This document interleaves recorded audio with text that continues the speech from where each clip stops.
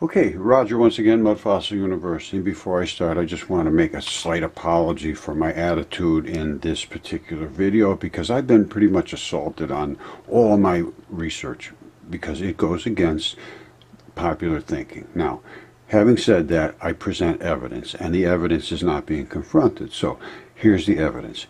We're going to be talking about photons and Einstein and my this is not a wave.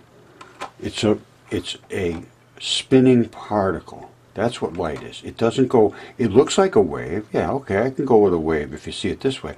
But the particle is the tip of it and it spins. And when it hits there, if it spins this way, they fly out that way. If it hits over this way, it spins over this way.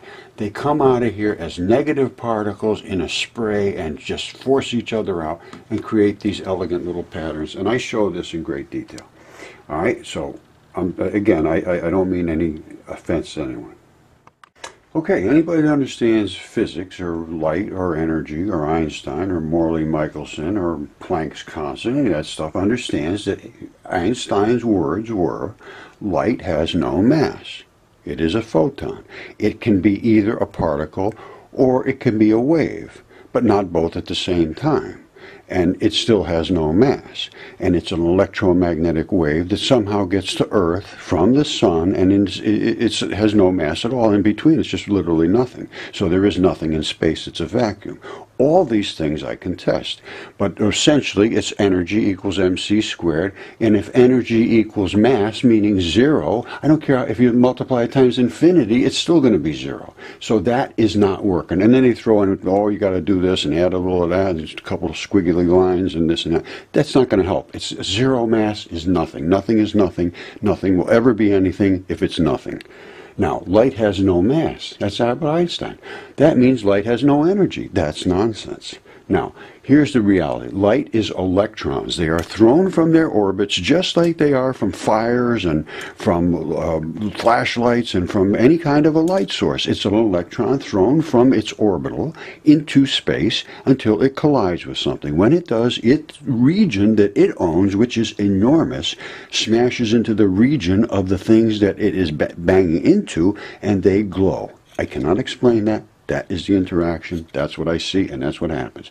When they are in the vacuum of space, which is not really a vacuum, they are all in there. They just don't interact. So light is actually dark matter in transit. It's the dark energy, dark matter. And now, I just want to say this. If you watch the video, uh, my hope is to create plasma with protons and which will lead to fusion. Now, the problem they have now is creating plasma is very, very difficult, and they have to use a tremendous amount of electricity and containment vessels and so forth.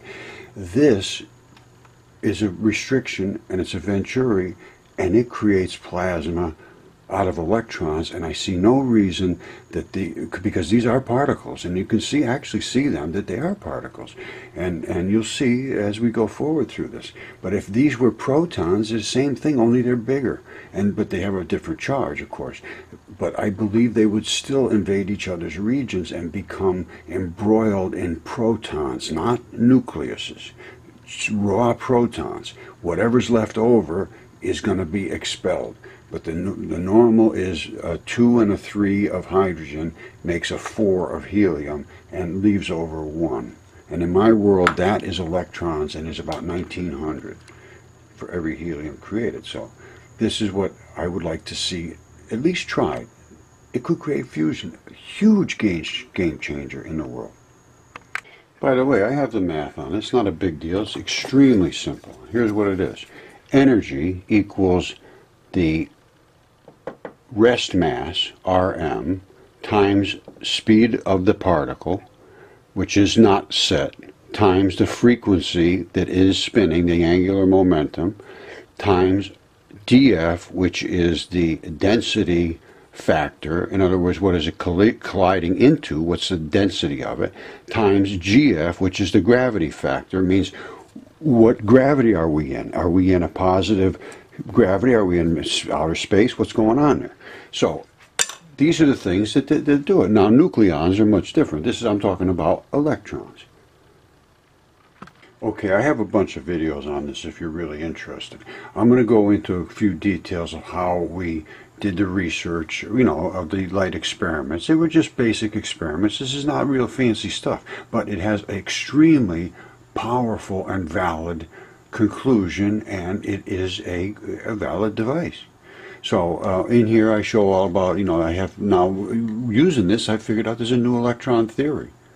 It's a new new atomic flood theory, and uh, I think Einstein has no clothes. It's time to say that. Matter spins. Matter's in space. There is matter in space, and that matter is electrons, and it's things that spew out of all these different things that are in space. So there's not, there's a lot of stuff that's in space, and that's what we're scrubbing through. So you can either stop now or watch the, the, the details, but this needs to be looked at, and, and I'm, I'm willing to, to work with anybody who wants to ask questions or, or, or contact me. Thank you.